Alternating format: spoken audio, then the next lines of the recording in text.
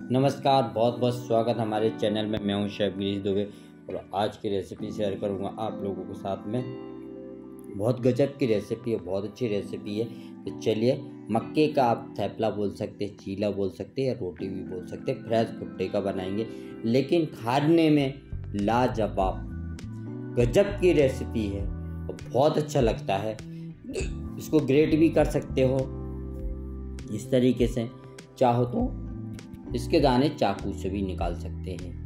ये देखिए, इसको हम एक के दो कर लेंगे छोटे छोटे पीस कर लेंगे, क्योंकि बड़े पीस में काट में दिक्कत होगी दाने निकालने में। तो इस तरीके से आप इसके दाने निकाल सकते हैं चाकू से।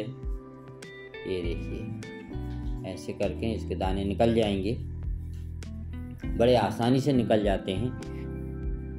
बहुत अच्छे दाने ये देखिए। ग्रेट करने से इजी है।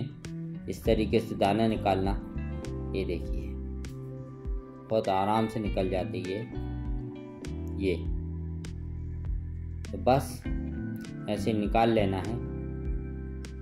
ये देखिए, सारे हमने निकाल लिए हैं। और अब इसको हम मिक्सर में डाल के इसको पीस लेते हैं हल्का सा इसमें थोड़ा सा हम धनिया डालेंगे, थोड़ा सा अदरक डालेंगे।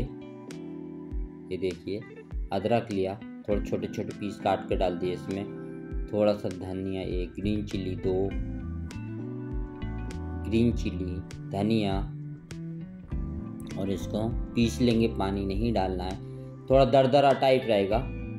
और इसको हमने पीस लिया। ये देखिए। इसको पीसने के बाद इसमें थोड़ा सा बेसन डालेंगे। करीब करीब तीन चम्मच।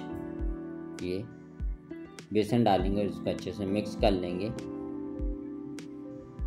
नमक, धनिया, चॉप करी हुई प्याज है, रेड चिल्ली पाउडर और ये है चाट मसाला, हल्का सा धनिया पाउडर और हल्दी। उससे पहले प्याज डाली थी और लास्ट में डालेंगे नमक। मिक्स करेंगे अच्छे से। ये देखिए।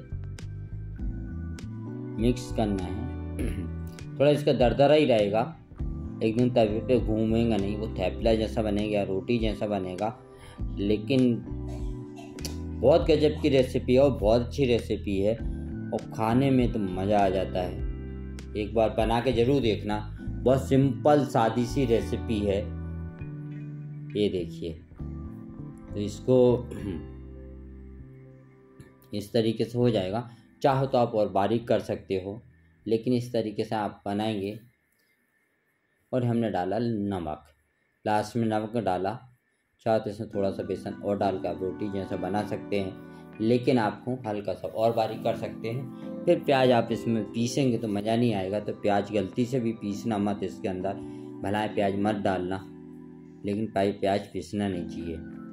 चलिए, हमने घी लगाया। घी, तेल किसी में भी आप बना सकते हैं। इस तरीके से मोटे मोटा बनेगा ये, ज़्यादा पतला नहीं बनेगा।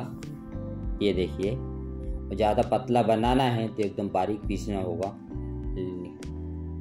वो चीला जैसा हो जाएगा, लेकिन इसको खाने में बहुत मज़ा आएगा। वाकई में एक बार बना के ज़रूर देखना। इसके लिए कुछ नहीं चाहिए, चटनी भी नहीं चाहिए। चाहो तो चटनी बना लो, ऐसे ही खाना। बहुत मज़ा आएगा। ये देखिए, बहुत टेस्टी लगता खाने में। बस इस तरीके से हमें बना लेना है इसको। और ये ये देखिए एक एक करके हम इसको पका लेंगे, हाफ़ डन कर लेंगे, फिर एक साथ पका सकते हैं। ये देखिए,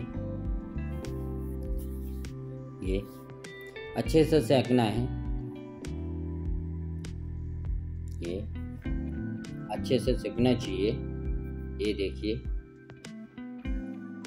और ये इसको हम एक साथ डाल देंगे सारे, चार एक साथ डाल दिए। चार एक साथ सेकेंगे वो हाफ़ डन करके रख लिए थे सबको हमने। अब चारों को एक साथ सेक लेंगे अच्छे से। ये देखिए, ये सीख गए हैं और ये इस तरीके से हम सर्व कर सकते हैं। तो हमारी रेसिपी अच्छी लगी तो लाइक करना, कमेंट करना, शेयर करना। आप लोगों ने अगर हमारा चैनल सब्सक्राइब नहीं किया है तो कर लीजिए। बेल आइकन को दबा दीजिए। जब भी हम वीडियो डालेंगे तो आप लोगों को अपडेट मिल जाएगा। आप लोगों लिंक दे दूँगा। शेव भाजी की पाँच प्रकार की ग्रेवी, एलो ग्रेवी चौ मसाला पंजाबी ग्रेवी, पंजाबी मखनी ग्रेवी ज़रूर देख लेना। Thank you so much